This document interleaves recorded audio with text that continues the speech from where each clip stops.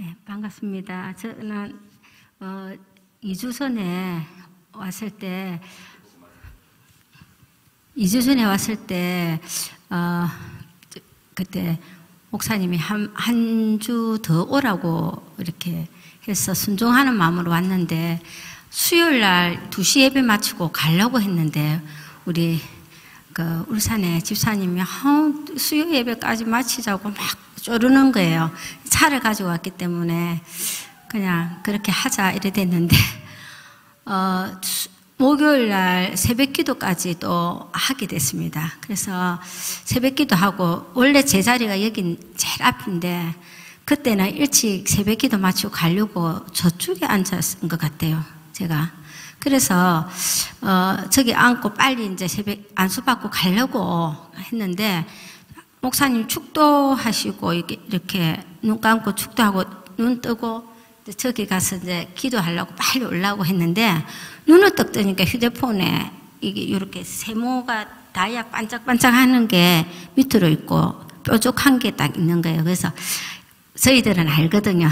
이게 영광의 그 지성소 영광의 해년이라는 걸 알기 때문에 어머 우리가 억수 사모했던 게 여기 떨어졌으니까 저는 와 여기서 안티옥교에서 이걸 받으니까 특히 의미가 있는 겁니다. 저는 그래서 그거를 잡다 너무 조심스럽게 잡다가 떨어뜨린 거예요.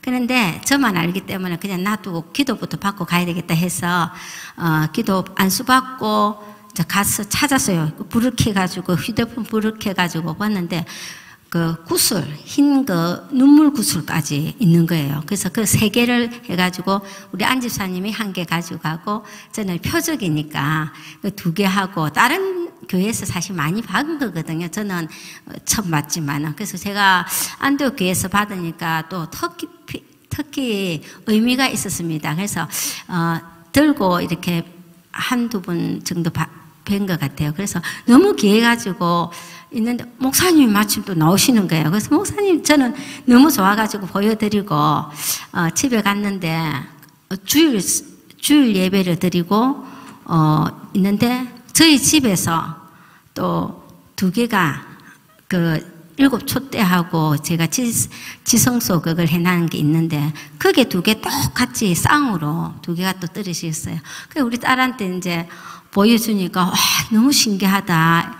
이래가지고 아 하나님께서 이걸 보여주시는 거는 여기에 이 성전에 어, 영광의 해년이 지성소 오늘 목사님 말씀하셨는데 지성소 어, 영역이 풀어졌다. 저는 그거를 제가 받았고 오늘 또 목사님 말씀 아까 10시 예배 때 오신 분들이 깜짝 놀란 게 있습니다. 그래서 아 목사님 말씀이 엄청난 그 우리가 배우고자 했던 것을 이어서 다 풀어냈어요. 사실은 오늘 말씀이 어, 다른 분들은 어떻게 들릴지 모르지만 우리는 깜짝 놀라고 기절을 할 뻔했습니다. 그래서 우리가 고대하던 것이 이 안디옥교에서 풀어졌음을 선포합니다.